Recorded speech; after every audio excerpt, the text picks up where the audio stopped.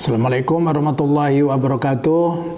Saya Dr. Rustam Haji MSI, dosen Universitas Pendidikan Muhammadiyah Uni Muda Sorong. Saya telah mengajar di Uni Muda selama 20 tahun, sejak tahun 2004 sampai sekarang. Salah satu mata kuliah yang saya ampu adalah manajemen pendidikan. Mata kuliah ini membahas konsep dasar, peranan, dan ruang lingkup manajemen pendidikan, dilanjutkan dengan kajian yang mendalam tentang pengelolaan terhadap bidang garapan manajemen pendidikan yang mencakup peserta didik, kurikulum, tenaga kependidikan, fasilitas pendidikan, pendi, pembiayaan pendidikan, ketata laksanaan lembaga pendidikan, dan hubungan lembaga pendidikan dengan masyarakat, serta kepemimpinan pendidikan dan supervisi pendidikan. Perkuliahan diberikan melalui tatap muka, diskusi, dan penugasan. Sasaran pembelajaran ini agar mahasiswa mampu memahami, menguasai, dan terampil dalam mengambil keputusan. Subcapaian pembelajaran ini agar mahasiswa mampu mengkaji konsep dasar manajemen pendidikan serta peran manajemen pendidikan dalam memecahkan masalah pendidikan. Capaian pembelajaran dalam mata kuliah ini agar mahasiswa mampu mengkaji konsep dasar manajemen pendidikan serta peran manajemen pendidikan dalam memecahkan masalah pendidikan. Adapun tujuan pembelajaran adalah mahasiswa mampu menjelaskan satu pengertian manajemen pendidikan. Dua, mahasiswa dapat tujuan fungsi dan prinsip manajemen pendidikan. Mahasiswa mampu menjelaskan ruang lingkup manajemen pendidikan. Empat, keterkaitan antara administrasi, manajemen, dan pendidikan. Lima, isu aktual manajemen pendidikan dan mutu pendidikan, serta solusi pemecahan masalah pendidikan. Selamat pagi. Sejahtera untuk kita semua. Salam. Apa kabar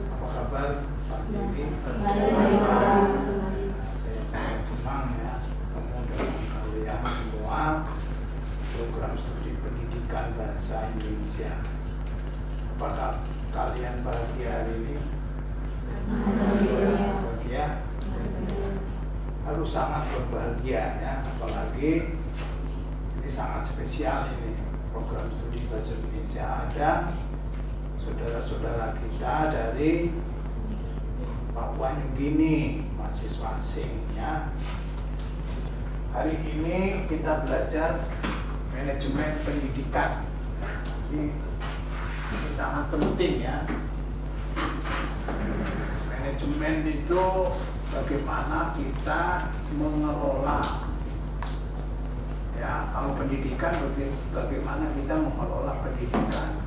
Mengelola manusianya mengelola sumber dayanya ya. Sampai-sampai kalau sebuah organisasi sebuah sekolah sampai tidak bagus orang selalu bilang itu manajemennya yang tidak betul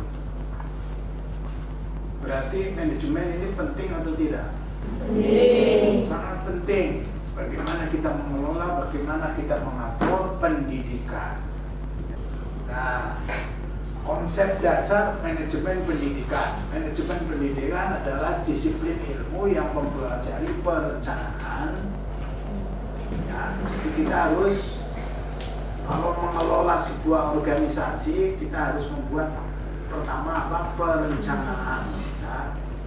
perencanaan, terus pengorganisasian diorganisir, ya, diatur, diorganisir, nah, terus diarahkan, pengarahan, terus dan pengawasan harus diawasi.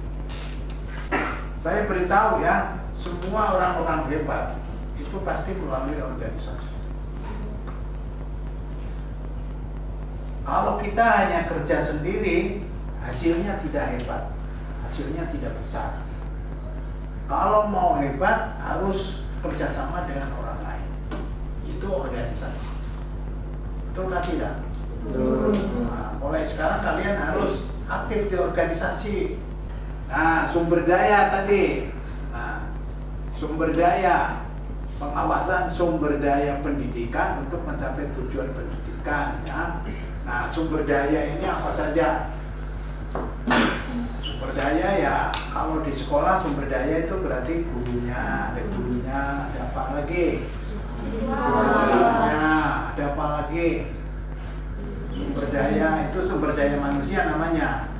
Terus ada apa lagi? Sumber daya alam yang di situ. Sekolah itu ada tanahnya, ada bangunannya, ada alat-alatnya itu itu sumber daya, resources ya. Sumber daya atau resources. Tuh. Itu sudah masuk bahasa Indonesia juga. Ya, kita mengelola sumber-sumber daya. Ya. Ini konsep dasar manajemen. Nah, ini definisinya ya. Manajemen pendidikan definisinya proses perencanaan, pengorganisasian, pengarahan, dan pengawasan sumber daya untuk mencapai tujuan pendidikan. Jadi kita merencanakan, kita mengorganisasikan, mengatur, mengarahkan, serta mengawasi sumber daya. Sumber daya untuk mencapai tujuan pendidikan. Harus pakai baik-baik, belajar baik-baik. Kalian belajar, kalian sekolah penting atau tidak? Penting. It's very very important. Ya, semua negara di dunia ini, ya, yang bikin negara itu maju, apakah kekayaan alam atau kemajuan sumber daya manusia? Saya tanya.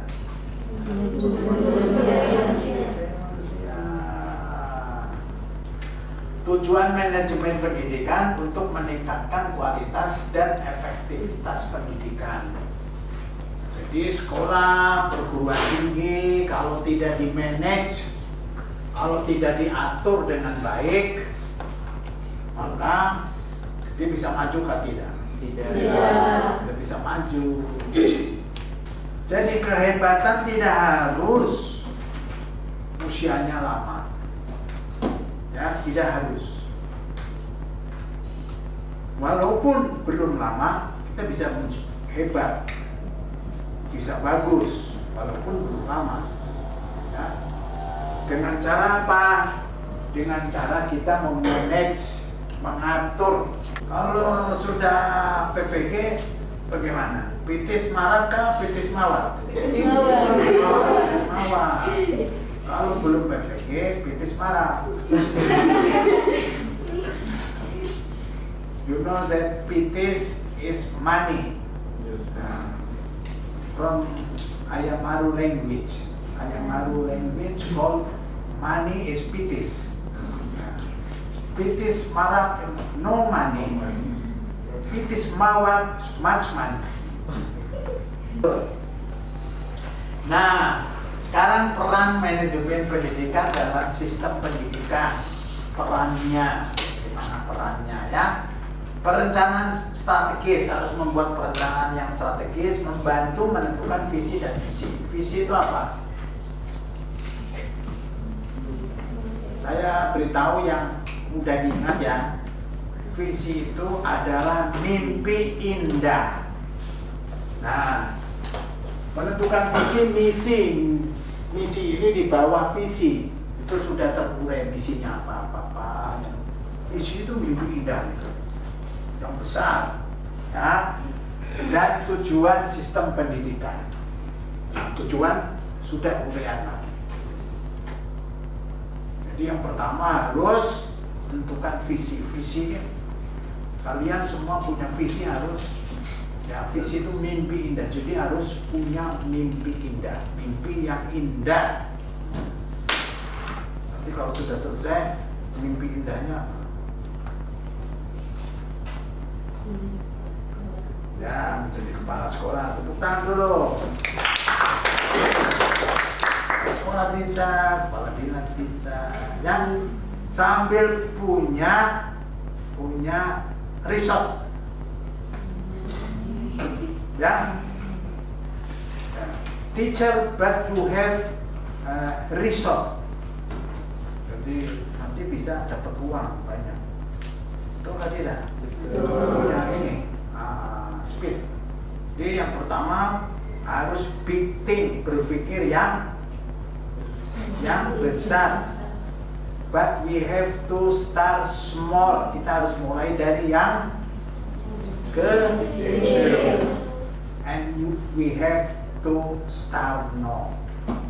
Dan mulai sekarang, jangan menunda. Kuncinya itu, ya. Nah, peningkatan kualitas, memastikan efektivitas dan efisien proses belajar mengajar. Di sekolah dipastikan itu terjadi belajar mengajar kalau di sekolah. Kalau anak-anak liar-liar keluar-keluar itu berarti tidak terjadi. Nah, kepala sekolah nanti harus cari nih siapa, yang kenapa kok kok di luar-luar dan sebagainya. Betul tak? Pengalokasian sumber daya, sumber daya tadi sudah tahu ya, daya ada sumber daya manusia, ada sumber daya uh, ini yang material ya, material ada gedungnya, ada tanahnya, ada peralatannya. Money, money itu juga sumber daya. Ya, uang ini juga sumber daya. Uang atau pitis ini juga sumber daya. Kalau tidak ada pitis bagaimana? Kursi. Nah, kurang lancar. Ya, tapi bisa jalan. Penting semangat. Ya, harus semangat. Tidak boleh tidak ada pitis langsung aja. Tidak ada pitis tidak. Tidak bisa kerja. Harus tetap semangat. Ya, harus tetap semangat. Mengatur distribusi anggaran, fasilitas dan tenaga pendidik. Anggaran juga harus diatur. Fasilitas sumber daya yang tadi itu, nah begini ini harus. Dan tenaga pendidik, kalau di sekolah ya guru harus diatur, dijadwal dengan baik, ya. Kalau di perguruan tinggi dosen-dosen juga harus diatur, apalagi kalau sudah banyak. Di sekolah mungkin gurunya 12 kan, 20. Di sini dosennya ini 200 lebih nih. Sampai saya sendiri banyak yang tidak kenal dengan dosen-dosen. Nah, akuntabilitas mempertanggungjawabkan kinerja sistem pendidikan kepada pemangku kepentingan. Nah, kalau sekolah pemangku kepentingannya apa? Sekolah negeri pemangku kepentingannya apa? Pemangku kepentingannya ya, nah, ya pemerintah, masyarakat. Ini kita harus bisa mempertanggungjawabkan. Apalagi nanti kalian jadi kepala sekolah, jadi guru, ya orang tua titip, titip anak toh untuk dididik. Nah, boleh bilang bodoh kah tidak? Tidak. Tidak boleh. Tidak ada anak yang bodoh. Ini mempertanggungjawabkan penting sekali, ya mempertanggungjawabkan. Kalau sekolahnya swasta mempertanggungjawabkan kepada masyarakat, juga kepada yayasan. Ada SMA YPK ya kepada YPK. Fungsi-fungsi manajemen pendidikan. Ya, tadi yang pertama sudah perencanaan kita harus menetapkan tujuan, kita harus mengorganisasikan, mengarahkan dan pengawasan. Ya, menetapkan tujuan strategi dan rencana aksi untuk mencapai tujuan. Ini harus direncanakan. Kita harus membuat perencanaan. Ini ilmunya kepala sekolah ini. Nah, kamu disiapkan untuk jadi kepala sekolah. Ya, nanti sesudah jadi kepala sekolah, nanti jadi kepala dinas pendidikan. Nanti kalau ada ajak yang mau nyalon bupati juga bisa jadi bupati. dan tidak lama dari sekarang. Kalau mau jadi anggota DPR, mau jadi bupati ini nggak lama jadi sekarang, dan sekarang tidak lama. Lanjut. Nah, masalah-masalah pendidikan yang umum terjadi kekurangan anggaran. Kalau kurang anggarannya bagaimana? Apa tetap semangat atau langsung malas?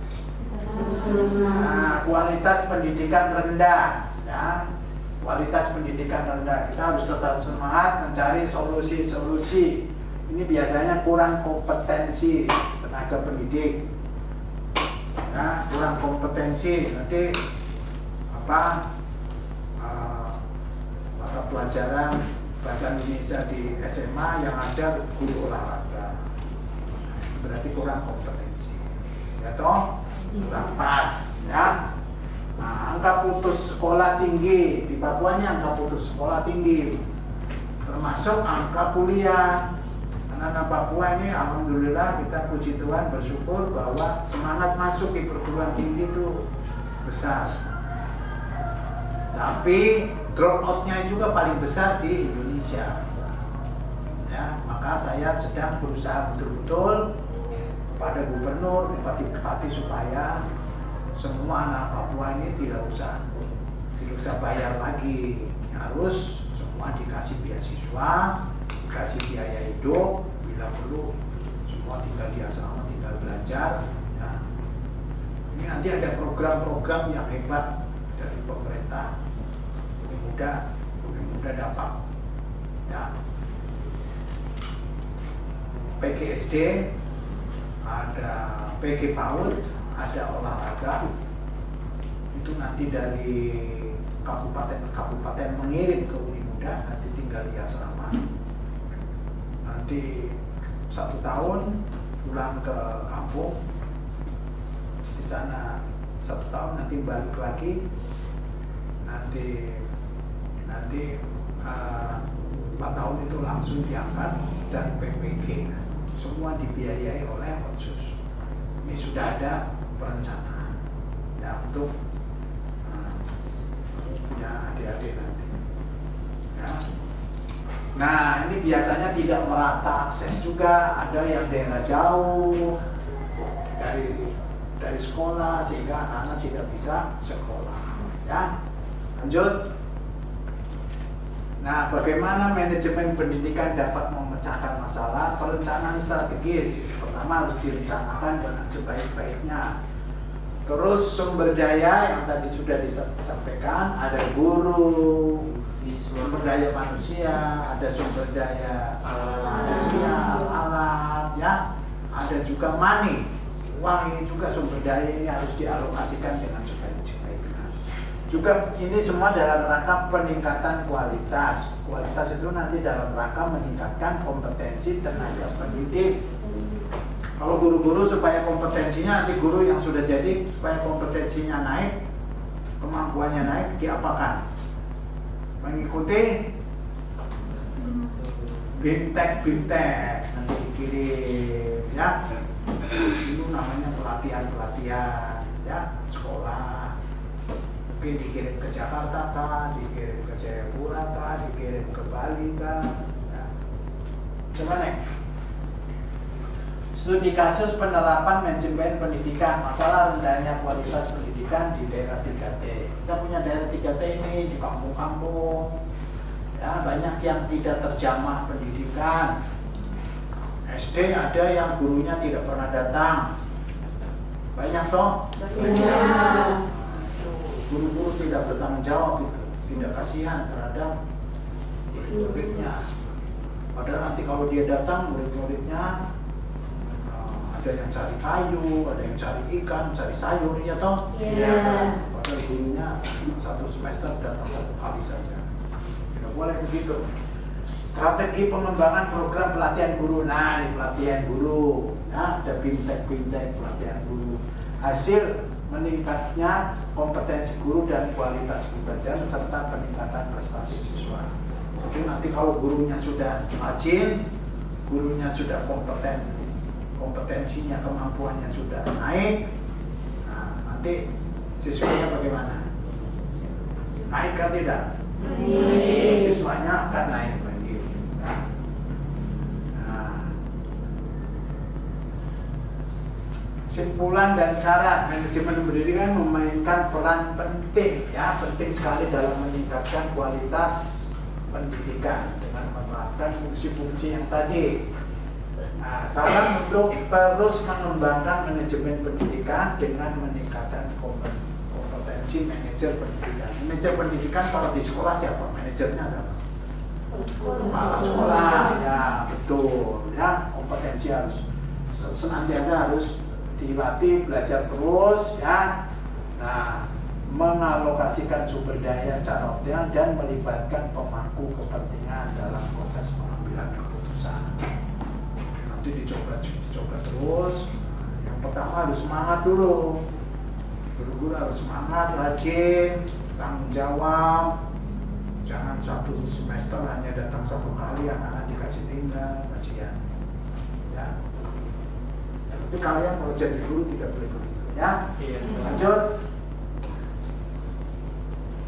Ya, terima kasih. Tepuk tangan dulu semuanya. Ada pertanyaan? Pertanyaan saya di sini itu eh, kira-kira kalau seandainya sebuah organisasi kita sudah eh, sebagai pemimpin atau sebagai seorang leader kita sudah eh, membagikan eh, eh, tugas dan tanggung jawab kepada teman-teman tetapi eh, proses itu eh, organisasi itu secara berlangsung eh, mengalami kendala yang eh, mungkin akan terjadi macet di tengah-tengah. Kira-kira eh, kita sebagai seorang eh, pemimpin atau seorang leader nih, hal apa yang harus kita mengatasi di situasi seperti itu, Pak? Ya, bagus. Terima kasih, Pak. Tahan dulu pertanyaannya. Yang pertanyaan, yang pertama, jadi kondisi apa pun kita tidak boleh marah-marah. Tenang dulu. Ya, sudah diatur kok tidak bisa diatur-atur. Berarti kita harus mene- kita harus sabar, kita harus tenang. Terus kita kumpulkan untuk kita ajak komunikasi, kita rapat. Jadi guru-guru kita ajak rapat, meeting seperti ini. Ini ternyata begini, bagaimana? Nanti minta diminta pendapatnya. Menurut kamu bagaimana ini? Ya, nanti mereka akan memberikan pendapat-pendapat. Setelah itu baru nanti kepala sekolah, seorang leader baru memutuskan. Sesuatu masalah yang ada di sekolah, yang ada di perguruan tinggi, yang ada di organisasi mana pun, masalah itu terjadi biasanya. Dan hampir semua ya karena kurang komunikasi. Betulkah tidak? Betul. Sekarang harus sekolah juga nanti jadi kepala sekolah di Vacana harus sering ngopi. Guru-guru diajak ngopi. Ngopi singkatan apa itu? ngopi? Ngobrol pintar, kita ngopi, bikin kopi, ada bakar-bakar keladika sambil bicara-bicarakan, ya. Nah, di situ terjalin komunikasi. Kalau sudah komunikasi, organisasi aman, sekolah aman. Ya. Ada konflik, ada masalah, ada apa pun di mana-mana organisasi itu yang pertama akarnya itu karena kurang komunikasi. Ya, terima kasih. Ini hebat sekali pertanyaannya ya. Tepuk tangan dulu. Ya, Bagaimana cara kita menangani dunia pendidikan yang sekarang ini?